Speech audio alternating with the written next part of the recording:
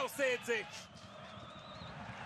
שער חמישי של גרסיה, בית"ר ירושלים חוזרת למשחק בדיוק עשר דקות אחרי שספגה שער